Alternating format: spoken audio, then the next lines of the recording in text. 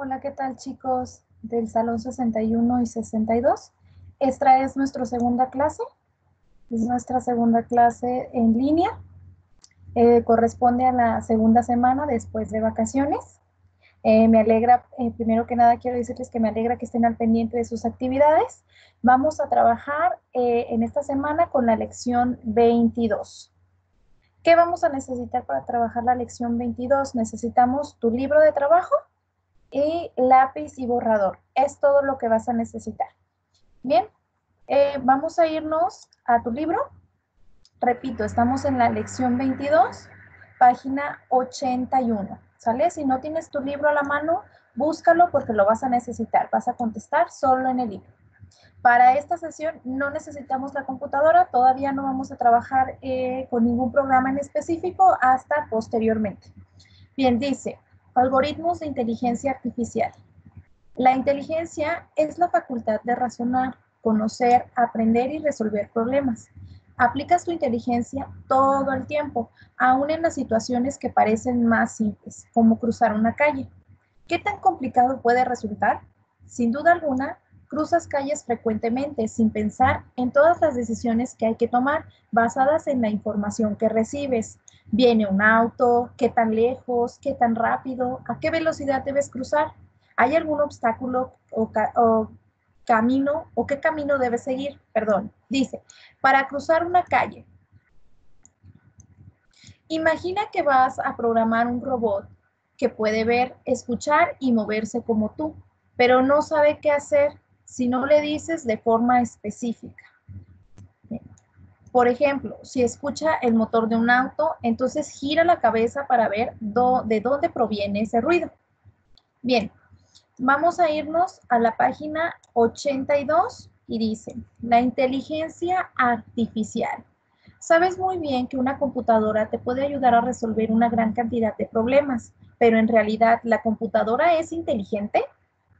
Los aparatos y dispositivos que tienen inteligencia artificial, IA, que son las siglas de inteligencia artificial, parecen ser extremadamente inteligentes, pero en realidad solo siguen instrucciones. Los programadores escriben algoritmos para que dependiendo de si cumplen ciertas condiciones, las, las computadoras hagan una cosa u otra. Voy a repetir nuevamente este párrafo porque ahí tenemos unas palabras claves. Dice, los aparatos y dispositivos que tienen inteligencia artificial parecen ser extremadamente inteligentes, pero en realidad solo siguen instrucciones. Los programadores escriben algoritmos para que dependiendo de si se cumplen ciertas condiciones, las computadoras hagan una cosa u otra. Bien, ¿Qué vamos a necesitar aquí? Dice, forma equipo con un compañero para jugar al gato. Elijan quién será el humano. Él jugará las O y usará toda, toda su inteligencia para ganar. El compañero será la inteligencia artificial. Él jugará las X y no podrá pensar ni tomar decisiones. Solo debe seguir las instrucciones que se muestran en el papel. La inteligencia artificial comienza el juego. Bien, ¿qué vamos a hacer? Yo aquí recomiendo que tú seas la inteligencia artificial. Ve a retar a algún primo, eh, quien esté contigo lógicamente en tu casa, sabes que no puedes salir para nada. Entonces puede ser tu hermano, tu hermana, eh, primo, prima, eh, mamá, papá, hasta en la noche cuando termine de, trabajar. Este, puedes pedirle que te haga el favor de acompañarte en esta actividad. Es muy sencilla y va a ser muy rápida. ¿Sale? Se trata de jugar gato. Vamos a ver cómo lo vas a hacer. Aquí dice, papel con inteligencia artificial. Artificial. Soy el papel inteligente. Juguemos gato. Yo juego las X y yo comienzo. Quiere decir que tú aquí vas a comenzar, pero vas a seguir las indicaciones como lo está marcando tu libro. Es decir, acá en la siguiente hoja, mira, tienes las cuatro partidas que vamos a jugar, ¿sale? vas a jugar cuatro partidas con el papel, con tu libro, con la página 82. Este pequeño papel te va a decir qué es lo que tienes que hacer paso a paso. Tú no tienes que pensar ni tienes que decidir qué es, a dónde quieres, eh, en qué lugar quieres ocupar y poner esa X. ¿Sale? Vas a seguir tal cual como viene aquí. Por ejemplo, dice, como las X empiezan, es decir, tú dice, juega la X en una esquina. Entonces, te está diciendo que lo puedes hacer en una esquina. Puede ser esta, puede ser esta, puede ser esta o esta, pero en una esquina. ¿Sale? Es tu primer movimiento. Esperas a que la otra persona, quien te esté acompañando, ponga su eh, letra O en cualquier otro apartado. ¿Sale? Tú no le vas a decir absolutamente nada. Tú te vas a guiar con tu papelito.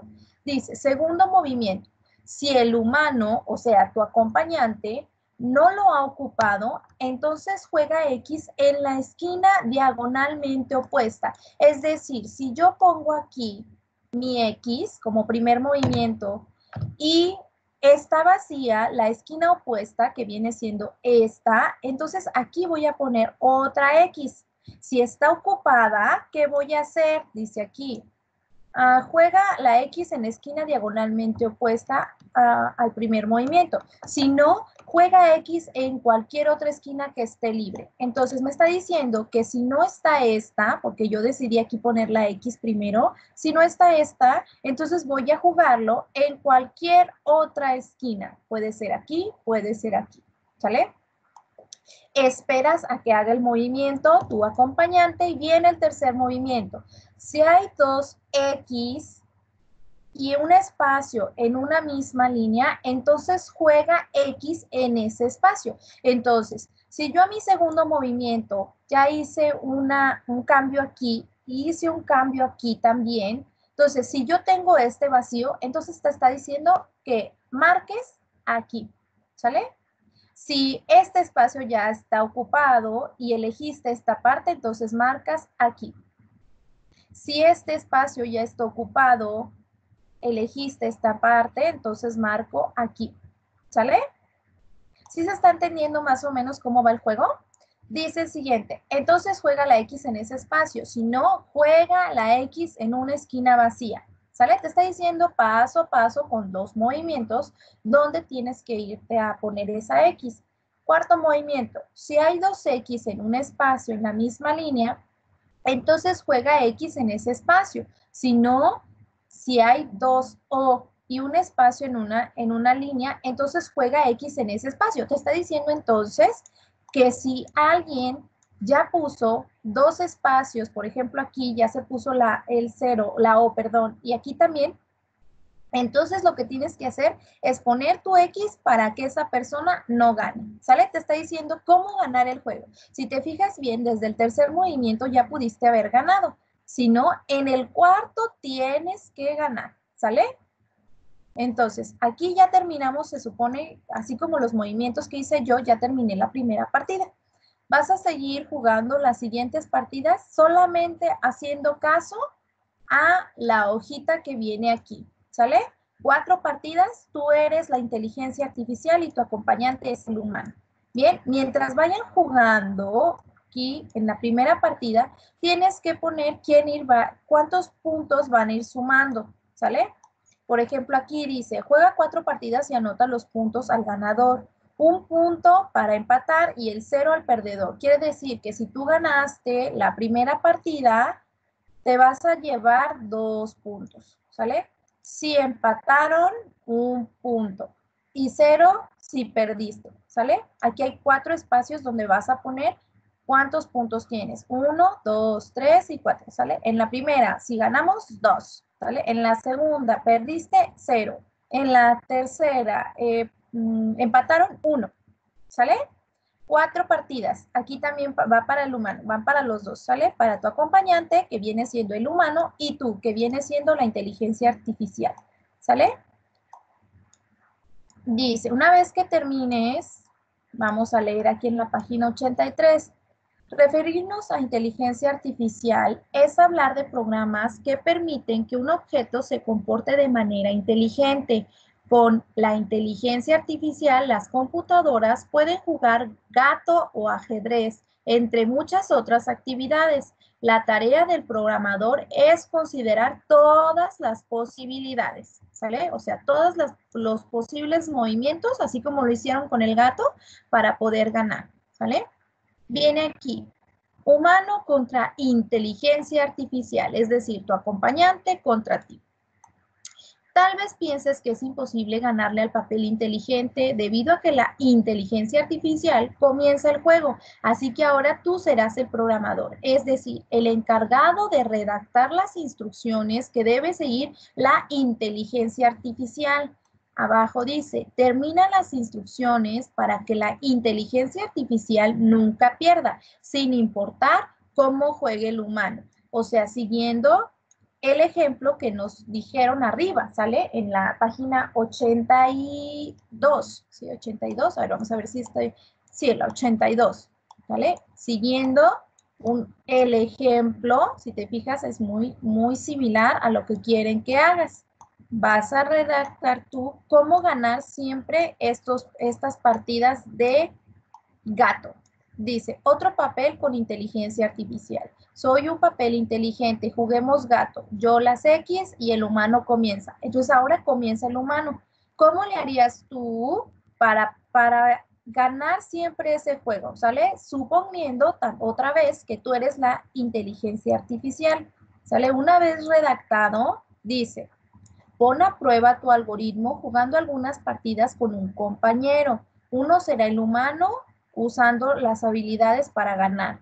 El otro será la inteligencia artificial y solo podrá seguir las instrucciones que has escrito. ¿Sale? Y nuevamente jugamos cuatro partidas y aquí anotamos dos puntos al ganador, un punto si es empate y cero puntos si pierde. ¿Sale? Aquí van las cuatro partidas para cada uno. ¿Sale? Recuerda que los dos llevan eh, los puntos al mismo tiempo, no necesario que juegues ocho veces, ¿sale? Nada más en cada partida anotar de la inteligencia artificial y del humano, ¿sale?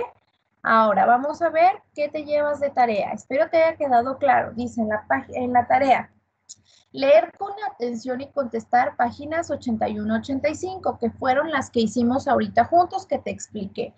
Envía captura, es decir, fotografía de tu trabajo al siguiente correo, ¿sale? Te voy a dejar el correo en las instrucciones. Esa va a ser tu tarea, ¿sale? Si te fijas bien, es muy sencillo, solamente es leer paso a paso qué es lo que tienes que hacer. Recuerda que este video lo puedes regresar, lo puedes pausar y lo puedes ver cuantas veces necesites para que te quede clara la actividad, ¿sale? Una vez terminada, mándame tu archivo y yo te, te califico, ¿sale? Bueno. Nos vemos en la siguiente semana con la siguiente lección. Cuídate mucho. Bye.